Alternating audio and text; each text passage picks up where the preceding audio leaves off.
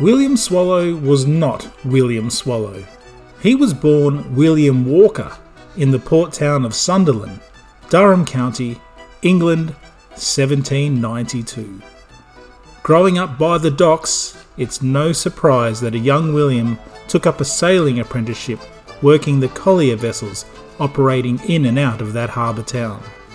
William would have been to nearly every major port in England, including London, and would have amassed a lot of sailing experience, which came to define his working life. But it wasn't going to be smooth sailing on merchant ships around England for William. In his early 20s, William Walker was press ganged into the Royal Navy to fight against France. For two years, he served and acquitted himself well, with no records of him being subject to harsh disciplinary action from the Navy, despite being bullied into the job in the first place. When the war against Napoleon had finished, William was able to leave the Navy and gain civilian employment on sea again as a ship's master. He was to marry, having three children, and settling down to a bright future as a mariner and a family man until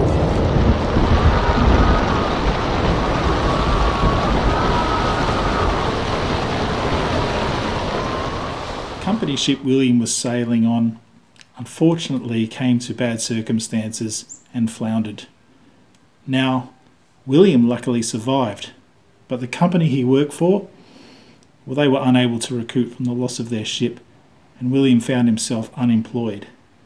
Getting work on the docks after the war was hard for a sailor. Many sailors had returned to civilian work, and all the merchant shipping companies were at full capacity. William, unfortunately, well, he had to feed his family and properly care for them. This event changed the trajectory of William's life. And when you're desperate, sometimes you do things that you normally wouldn't do. Ten pence ten pence worth of stuff William stole. And in England in the early 1800s, that was pretty serious. But luckily for William, it didn't warrant the death penalty. But unlucky for William, he was sentenced to seven years transportation to that new place everyone was talking about Van Diemen's Land on the far side of the world. Seven years transportation are you serious? Today you just get a slap on the wrist, a good behaviour bond maybe, but that's about it. To send someone to the other side of the world, I know, it seems a bit harsh to me. Anyway, through this experience, William discovered he had another talent. Some of us can sing, some can cook, some can sail boats. For William, he had this uncanny ability to escape. And that is exactly what he did. Me mateys, I just don't want to go to Van Diemen's Land. Just let me stay home with my family. While en route to London, an opportunity presented itself that, well, William just couldn't say no to. Another convict had jumped overboard, and while all the crew were distracted looking for him, William stuffed his clothes full of cork that he found on the ship and jumped overboard himself. Nobody noticed. William stayed afloat for five hours in a rough North Sea and was discovered by another passing ship and rescued. William just said, I was thrown overboard in rough weather while on the top mast. Could have happened to anybody. But, you know, I am a sailor. And that was so convenient for William. The ship needed an extra hand anyway. Eventually, William found himself on the London docks, and amazingly, there was plenty of work. But William Walker, yeah, he's a wanted man. I think it's time for a name change. It's Brown, mate. William Brown. I've always been known as William Brown around these parts. Whatever you say, Mr. Brown, we'll just have to take your word for it. After a couple of months, William got a bit homesick and decided enough was enough, he had to get back home to Sunderland. So he boarded the next ship out. And there he was, back in Sunderland, this time with a big bushy beard no one's going to recognise me with a big beard. William was recognised immediately. Although his wife and kids would have been happy to see him, they wouldn't have been so happy to see him taken away so quickly. He was boarded on a ship, a good ship that he couldn't escape from. He landed back in London, awaiting to start his seven year exile sentence in Van Diemen's Land.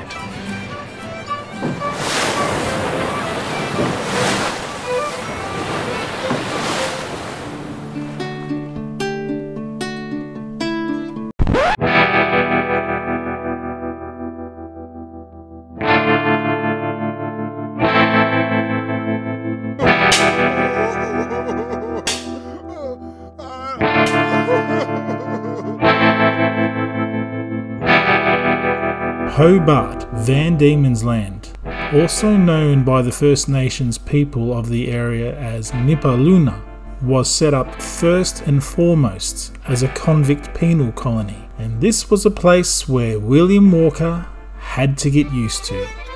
But believe it or not, being a convict in Hobart in the 1820s wasn't all that bad. Convicts were allowed to find lodgings in Hobart they weren't put into jail immediately at all. And as long as they reported to work every day and went to church on a Sunday, they were pretty much left to their own devices. William, because he was a mariner and had lots of sailing experience, well, he was given a job in the shipyards, which is not a surprise. Hey, there, there it is over there. Take that schooner over there. That's mine. Yeah, I'll get you. sir. I'll get you out of here. We'll do that. Get you out of here. Okay, we'll do that. We'll okay, let's do it. Let's go. Oh, let's go.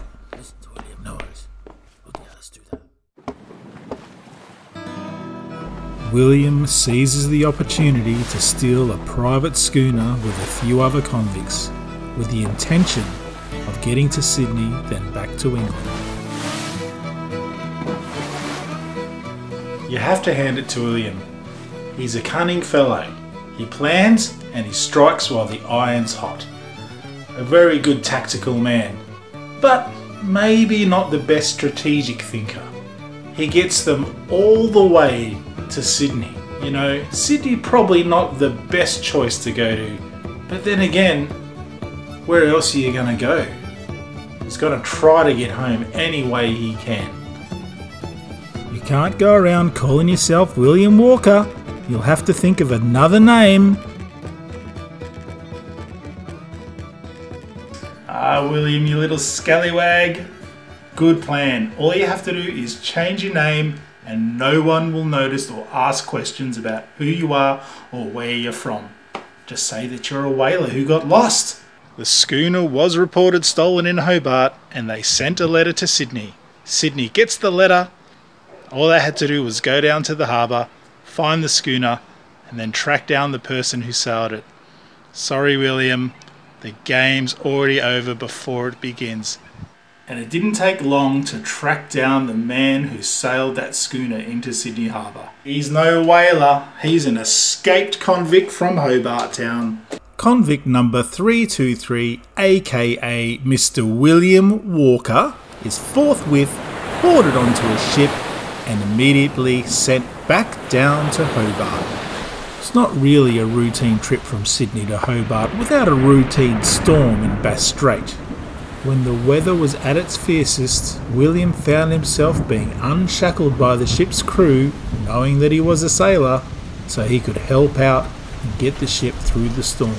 The decision by the captain to allow William, a convict, to assist with helping the ship through the storm proved to make the difference between life or death.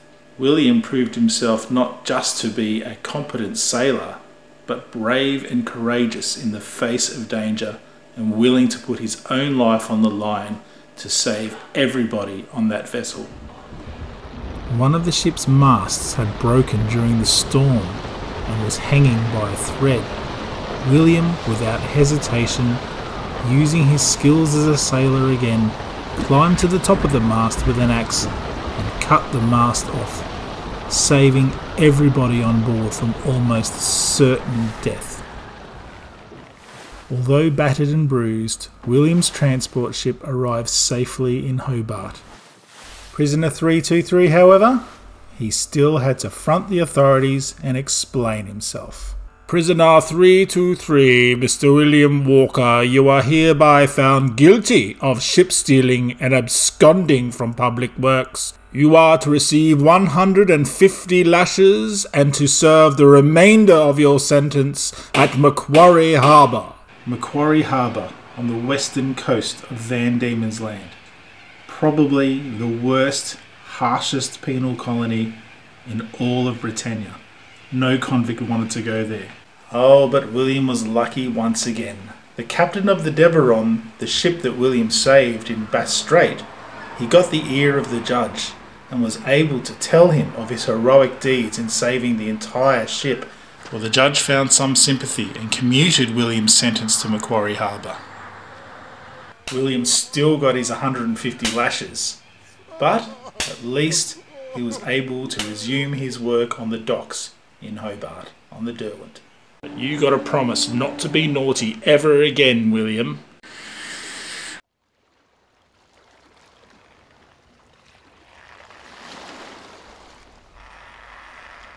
Look, mateys, the Deveron. She's all fixed. Is she really? She's Is she going really? back to England.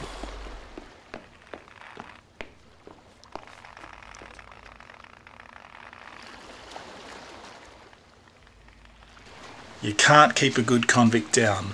And for William, opportunity was knocking at his door again. Working back on the docks again, William had seen in front of his very eyes the ship that he rescued in Bass Strait was getting fully repaired and seaworthy again. And I guess he was getting along with the crew because he found himself the opportunity to stow away. The ship was going to England and William was not going to miss that. Him and a few other convicts managed to be smuggled aboard and they were gone. I think the governor of Van Diemen's Land really needs to spend some money on harbour security. And William was on his way, on his way to freedom back to London. But first, a quick stop over to Rio. Oh, and your name William Walker? It's not safe anymore. Better change it and get the next ship out of here. The man who was always known as William Brown around the Thames was back and this time he sent for his family. William was reunited with his family. Unfortunately, one of his children had died in his absence, but at least they were together again, and William could look after them as best he could. William also managed to get a job again back on the Thames River. Whether the pay from working on the docks was good enough or not is unclear, but one thing is clear. William slid into the habit of stealing from ships again. In fact, he was doing it so much, it didn't take long for him to get caught. And remember that talent William had for escaping? Well, he did it again. He managed to escape from a cart that was transporting him to jail. He slid out, disappeared again, but only for a short time. Now, it mustn't have been a lot that he stole because each time he was fined or put into the local jail for only short periods but his reputation as William Brown the thief, well, it was getting the better of him. He decided to move house and change his name. And that name he chose, the new alias, was William Swallow. Remember that name. And just because you change your name, it does not mean that you change your game. William moved himself and his family to that little suburb known as Soho. He thought that he could live in obscurity, but as we know, he had some new habits. After moving to Soho, William got busted five times. Petty crimes again. Didn't get punished all that harshly. But the sixth time's a charm.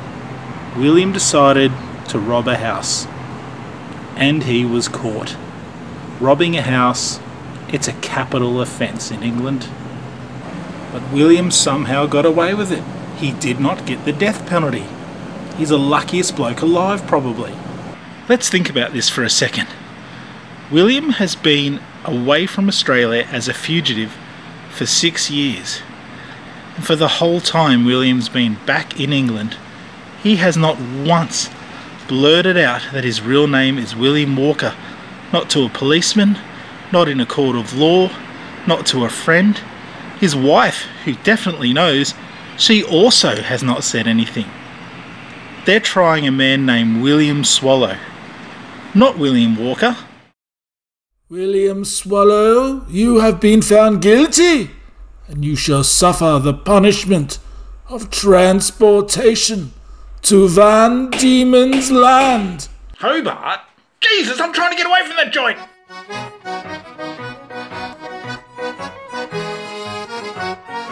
After arriving in Hobart again, William Swallow is given prisoner number 999.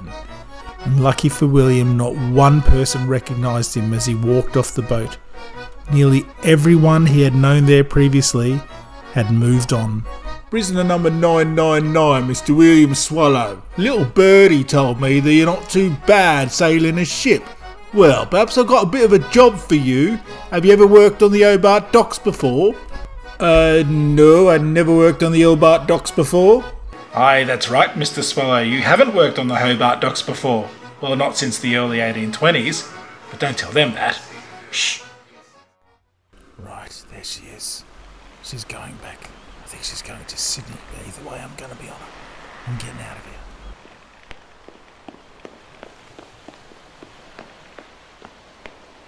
Right, this one's due out very, very soon. Time to do a bit of an inspection, yeah? You just wait here, I'll go have a look. Hello, hello, what have we here? Some stowaways. Right, you lot come with me. Hey, I know you, you're prisoner number 999. Best come with me, lad. Best come with me. Mr. William Swallow, you've been found guilty of absconding. Whatever are we to do with you? Remember, I said that the Van Diemen's Land governor had to do something about wharf security? Well, in the six years that William was away, convicts stealing ships and stowing away had become so prevalent that the governor had to step in. A new regulation was created. Ships about to leave port had to be inspected for stowaway convicts. By this time, the Van Diemen's Land authorities had worked out that this William Swallow character was actually convict number 323 of old, Mr. William Walker, an escapee who has somehow found his way back to Van Diemen's Land. How he has avoided the noose is anyone's guess, but here he is. But this time William gets lucky again. He avoids the noose, and the authorities decide that the best thing to do for him is to send him to Macquarie Harbour on the west coast of Van Diemen's Land, that place of tyranny. And this cycle, it could have defined William as a man until he died. But William Walker, well, he is no ordinary convict. Certainly, he is no ordinary man. William had a free spirit that no prison cell could break or hold. It's certainly a lot already to cram into one lifetime what William has already done. But William's hour had not yet come. It was just about to. In Hobart Jail, William awaited the next part of his sentence to begin. The Van Diemen's Land authorities were good for their word, and William's fate was going to be sealed at Macquarie Harbour. To get William there, the government had procured a vessel for this possible last journey under sentence. It was a little brig waiting at the harbour docks. A little brig called the Cyprus.